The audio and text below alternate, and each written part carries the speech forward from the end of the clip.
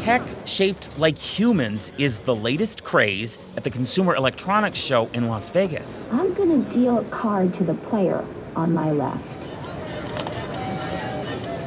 Humanoid robots doing what people can do. Well, sort of. Folding laundry, for example, is a little slow. But seeing the tech in person had this analyst excited. It's obviously going to take time for it to take shape, but it wouldn't be a bad thing when you have a robot folding your laundry, taking your dog out. And I think, look, that's something that we're going much more toward a Jetson stage than a Flintstones. Don't be silly, Rosie. You are worth your weight in leftovers. Thank you. Atlas doesn't have to move like a person does. The hype isn't just for the home. Hyundai introducing a humanoid robot for car assembly.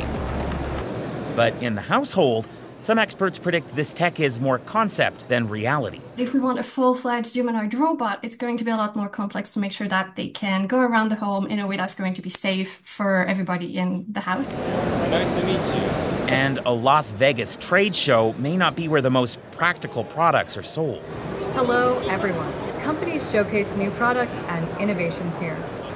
CES is all about hype. It's about thousands of companies all screaming above the volume, hoping that we will hear them and ultimately will buy what they're selling. And so you have to take it with a very large grain of salt. There's no firm ETA on when or if a humanoid could do your laundry. After all, it took decades for robot vacuums to hit the market. And usually, a human is still faster. Anis Heydari, CBC News, Calgary.